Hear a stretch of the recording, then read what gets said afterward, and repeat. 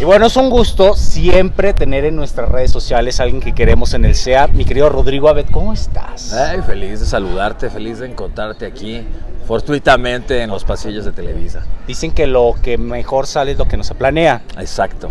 Y en la última vez que estuve contigo de proyecto aquí en Televisa fue la de Silvia Pinal, Sí. que precisamente la volvieron a repetir hace poco, le Sí. fue muy bien. Sí. Y ahora estás en La Mexicana y el Güero como Gonzalo. Yes. ¿Qué tal? ¿Cómo te ha ido ahí? Eh, mira, es un proyecto padrísimo. Eh, nunca Televisa había hecho una, una producción de ese estilo, ¿no? Que es como un melodrama con comedia. La verdad es que un elenco padrísimo, un gran grupo de actores con Nicandro, que ya sabes que en Televisa siempre ha habido como las eras de los productores, ¿no? Y estuvo la era de Pimstein, la era de Alonso, la era de. Estrada, la era, ¿no? Como que evidentemente si ves que ahorita Nicandro trae una repetición como Soy tu dueña y tiene la mexicana y, y siempre está vigente de alguna manera como que esta es la era de Nicandro, Claro. ¿no? Es como el productor ahorita a seguir, ¿no? Eh, y el elenco que está padrísimo eh, con Itatí Cantoral, con Juan Soler que está delicioso, eh, con Luis Roberto Guzmán que Y es muchos un gran jóvenes. actor y un grupo de actores que definitivamente jóvenes van a van a llenar las pantallas los próximos 10, 20 años. Le- de- les están dando el, el empujoncito. les estamos dando el empujoncito. Me tocó ya darle la patada a varios. Me tocó darle Bueno, la patada a a varios. Rodrigo, que es tu hijo. A Rodrigo, me Rodrigo Brandt, la patada. que también sí. es del SEA, el famoso Brandon. Sí, Brandon. Exactamente. Y aparte que ya están estrenando horario, bueno, nuevo horario, y los está viendo más gente. Eh, fue, una, fue una genialidad de programación de Televisa, esa es la verdad. Como que se dieron cuenta que era un horario más afín con esta nueva normalidad Claro. y con el tema de los chicos en casa.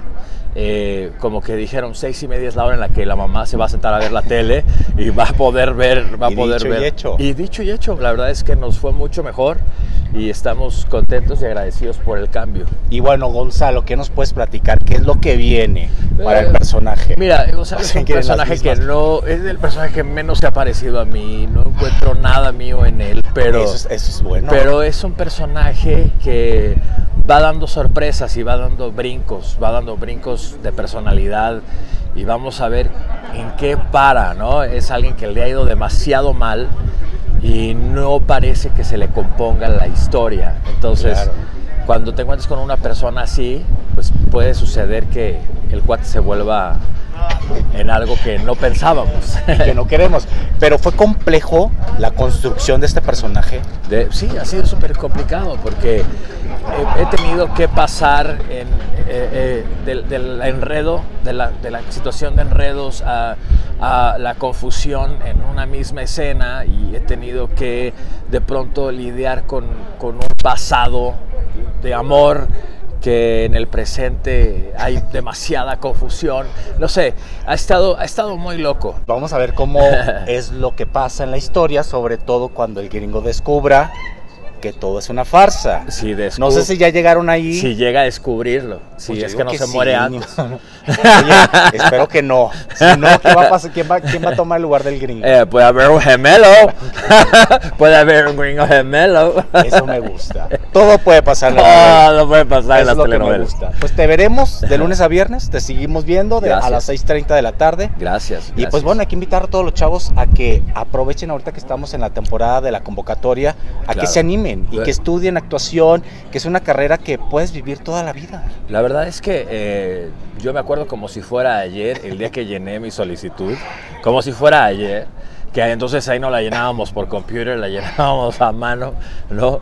Eh, y la formada, la audición, es, una, es un gran proceso cuando recibes esa llamada de te quedaste y, y que te das cuenta que así tu vida está a punto de tomar un giro impresionante y mucho, mucho, muy importante. Yo camino los pasillos de Televisa, recorro por aquí y cada esquina tiene un recuerdo para mí, Claro. cada lugar tiene un recuerdo para mí. Y definitivamente esta fue el lugar en donde, en donde aprendí, en donde me educaron, primero en el CEA, ¿no? Eh, luego en las demás otras opciones que teníamos aquí en ese entonces, que ya no existen más.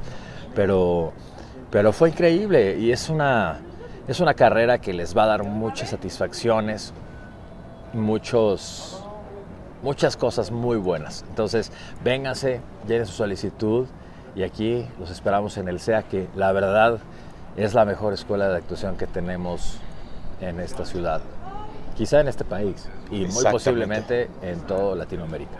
Pues es un vivo ejemplo de que el que persevera alcanza, tomaste Sí. la decisión de estudiar, Sí. dedicarte a esto y te vemos durante todos estos años 30 trabajando años después. y los que vengan. Así que pues nos vemos pronto, mi querido Rodrigo. Gracias. Andy.